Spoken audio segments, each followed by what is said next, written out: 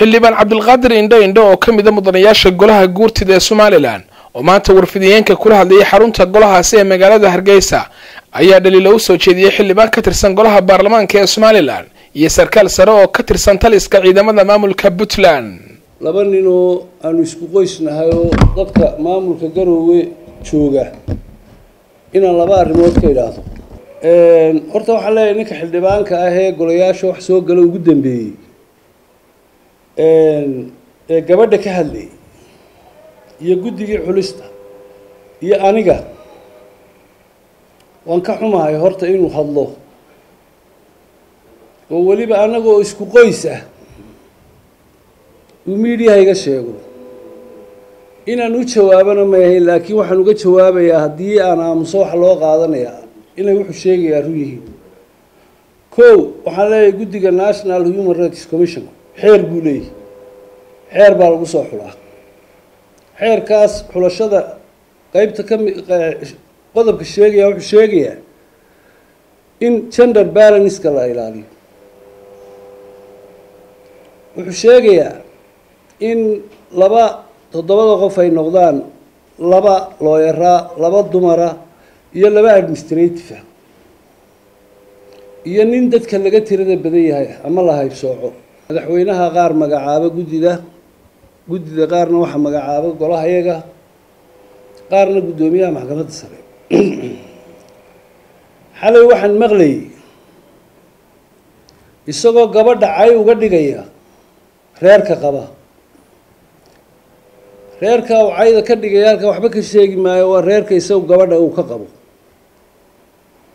Laba qof oo ilmaadeer oo wiilkii uu gabadha ku caayo reerka uu isaga ka qabo waa ikow marka xagga dhaqanka laga eego waxa uu gabadha ku caayayaa waa waxa uu guriga ku haysto.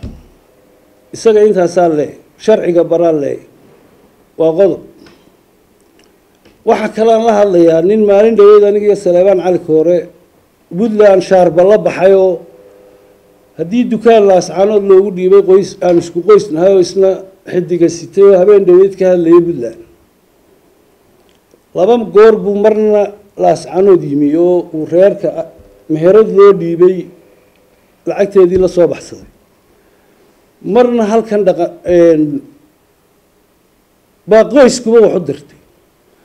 Marna xaajadii halkan taallay ku guda degi maaye siduu kaga tegayo wuxuu sameeyey uu isgaranaya maanta inuu raggii dhiigoodii reerka ahaa yidhaahdo saleebaan iyo indha been bay sheegayaan intuu shaarbo waaweyn oo kuwii moorgana iyo daxidigo gooru qaatayba anigu aanan garanayn. Uu muraayadda la soo fadhiistay. Waxaan leeyahay wixii aada ku hadashay reerka gudihiisii bay noo taalaa inaad maanta rag dhiigoodii dafirto oo tiraa saleebaan iyo indha been bay sheegayaan jawaabteeda reerkaad ka heli labadaa nin ee midna xildhibaanka ka yahay hargeyse culmoogga uu yahay. Sharcigiina aan akhriyayna wuxuu doono iska odhanaya. Ee baarlamaankii uu ka tirsanaa intuu ka tegay mid kala ammaanayay xalay. Dee caqligiisa waa garanaysaan baarlamaan laba baarlamaan somalilan ma lehe kursiguu ku fadhiyey intuu ka kacay buu mid kale. Oo anagu aanan garanayn meeluu ka gooru baarlamaan noqday iyuu ammaanayay nuur axmed iyo naale axmed baan maanta xildhibaan u ahay oo aan la hadlayaa xildhibaankii garoowe u joogay iyo xildhibaankii hargeysa u joogay. Wixii ka dambeeya aan wixii kale u gudbayaa ninkuna ilaa isagu isla hadlo oo raggiisa la hadlo. Dee cid kale lama hadli karo. Sakariyo sudeysi telefishinka eryal magaalada hargeysa